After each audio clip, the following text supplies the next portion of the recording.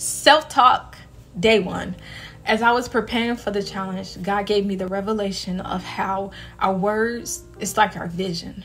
Our words are the eyes to our mind, body, soul, and spirit. What we speak and what is spoken over us ultimately is how we see ourselves, how we feel about ourselves, and what we believe. So, over the next 31 days, we, were, we are going to come back and war against that.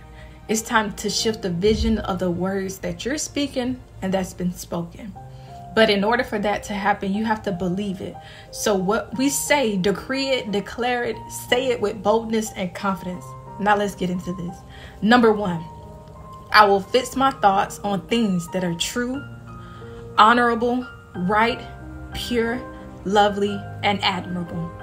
I will think about things that are excellent and worthy of praise. Number two, I am clothed in strength and dignity. I laugh without fear of the future.